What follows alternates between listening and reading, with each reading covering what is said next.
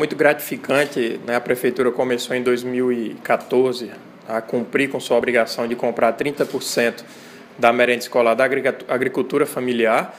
Agora nós passamos de quatro para oito cooperativas e é, é com certeza muito importante saber que as crianças da rede municipal vão estar recebendo produtos de qualidade, é, verduras, frutas, macaxeira, inhame, batata doce, milho, enfim, é, também sucos, é, leite, derivados de leite, tudo isso de cooperativas genuinamente alagoanas. Então a gente sabe que esse recurso vai ficar em Alagoas, é, vai fomentar a agricultura familiar né, dessas pessoas que tiram seu sustento do campo e é muito importante. E claro, a certeza que os alunos da rede municipal vão estar recebendo produtos de altíssima qualidade sem agrotóxico. Então a gente continua investindo na melhor qualidade da merenda escolar. Hoje ela é descentralizada, então a, as, dire... as direções de escola recebem o recurso até para que possa comprar no próprio bairro, né, para fomentar também a economia local.